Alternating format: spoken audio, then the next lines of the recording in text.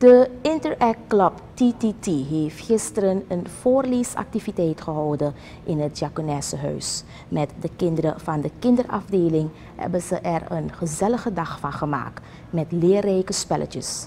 Dit community service project is georganiseerd in verband met de World Interact Week, welke van 4 tot 10 november duurt.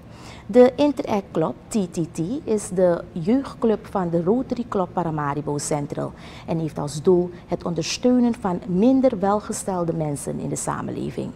Shania Dubri, president van Interact Club TTT, zegt dat zij veel meer, dan, veel meer doen dan dit voorleesproject. Organiseren fundraisingsactiviteiten en daarmee organiseren wij dus uh, community service activiteiten om de minder welgestelde samenleving te helpen.